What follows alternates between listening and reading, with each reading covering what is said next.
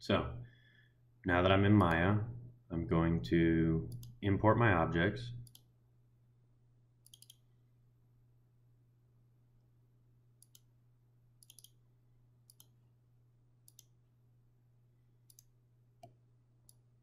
Here they are. I'm going to add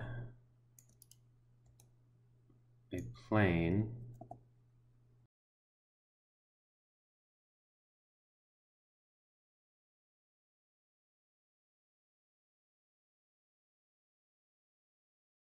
Okay. I'll pick these up. That way they're there. I'm going to add, assign a new material. And with that, I'm going to call these cubes. So now, what I'm going to do is I'm going to import my color map. So I'm going to click on that checker box, File,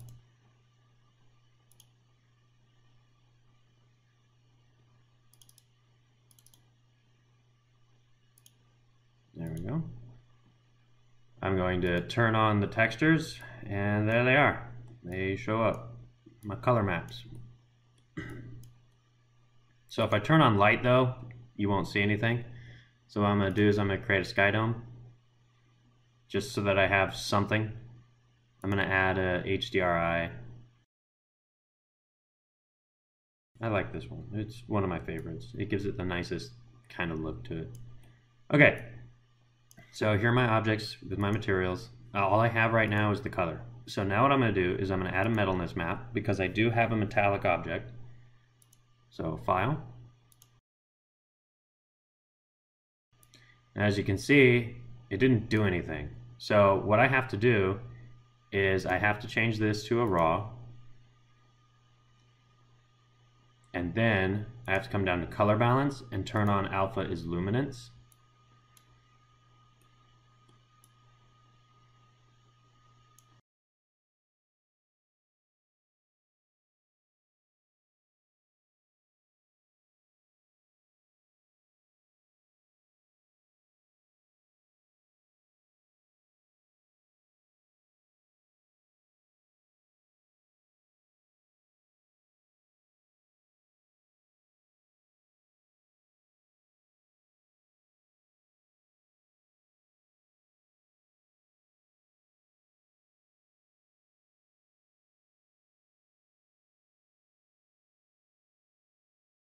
So this now looks metallic.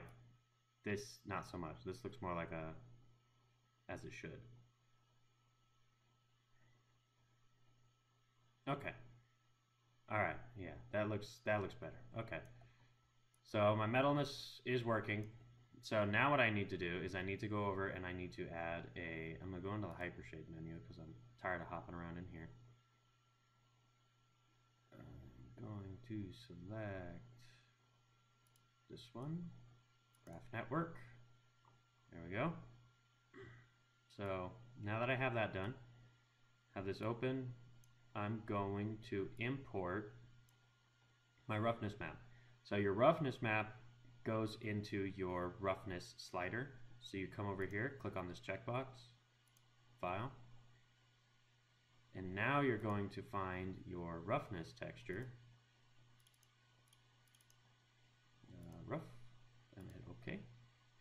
So now, if I just leave it as is, it applies a uniform roughness to everything. So what I have to do is I have to come down here and change this to alpha is luminance. And my roughness maps should, yeah, they'll show up now. So I can see the roughness on my metal cube.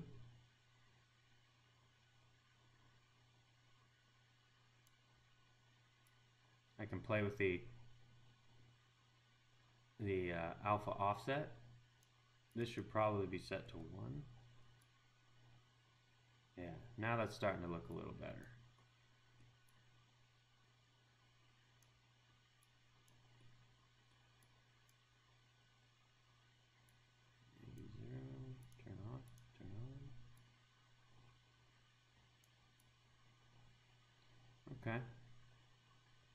So now what I'm going to do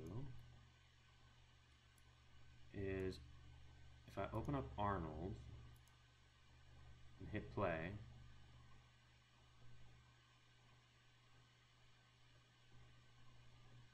these materials should be appearing as they did in Substance Painter.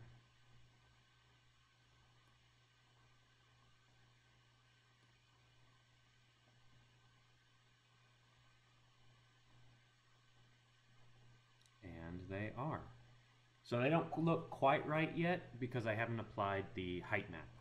So that's what I'm going to do next. Oh, I'm going to stop this render. I'm going to go back to my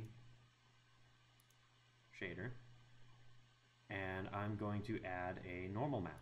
So I'm going to click back on this, go down to geometry.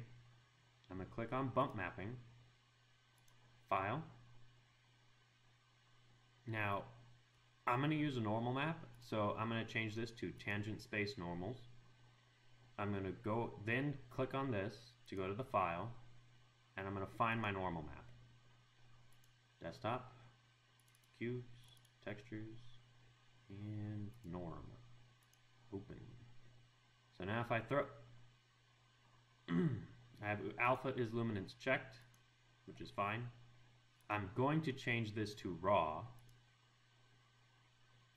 And now I'm going to check and see how it looks. Now everything looks appropriate in here. I'm going to, now what I'm going to do is I'm going to do another render. Nope, that's not it. There we go.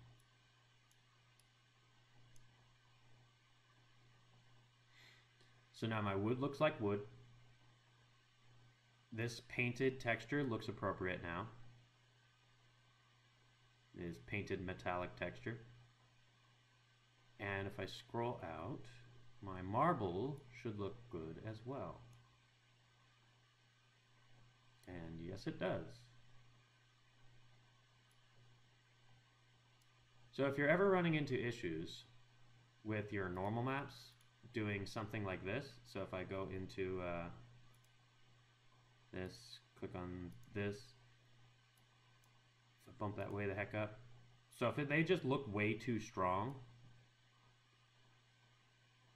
like this, so if I take this into the renderer,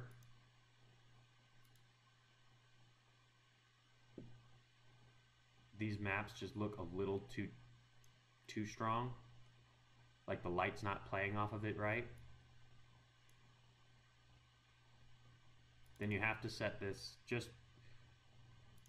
this is more important with the bump maps but you want to work around this area. But for this because I did it properly I'm going to hit it at 1 and that should work for these materials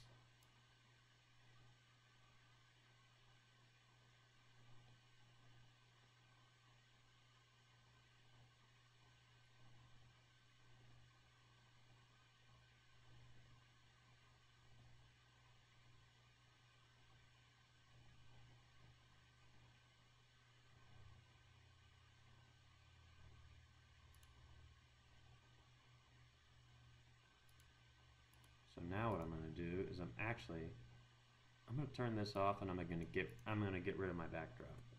It's taking too much time to render. So now if I hit play, this should render a little bit faster. Yeah, there we go. It's rendering nicely.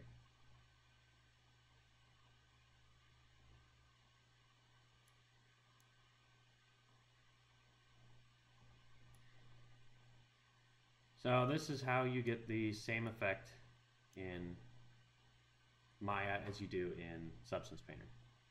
All right.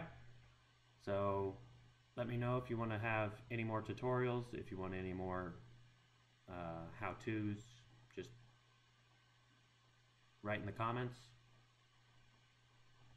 And uh, I'll see you next time.